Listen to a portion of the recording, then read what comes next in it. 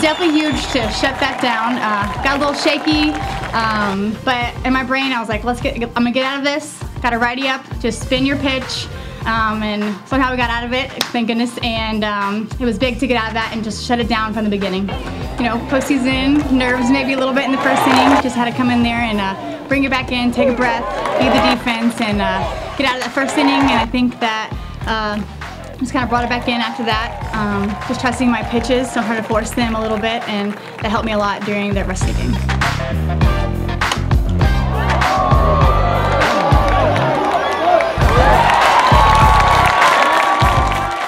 A few nerves, just a few, but I quickly got over it. I stepped in the box, I took my deep breath, and I just I just fell back on my training and just went.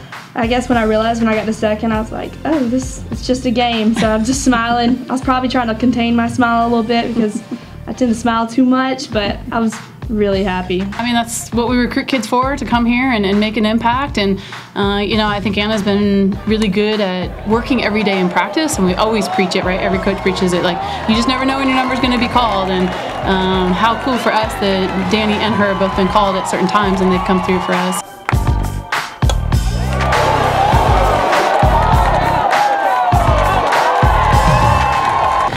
Always nice to get the first one under your belt. Um, she was spinning it up a little bit today and making the ball move, but you know, I got some good swings off and had some good pitching in the circle, and so you know, it's just nice to get that first one under our belt.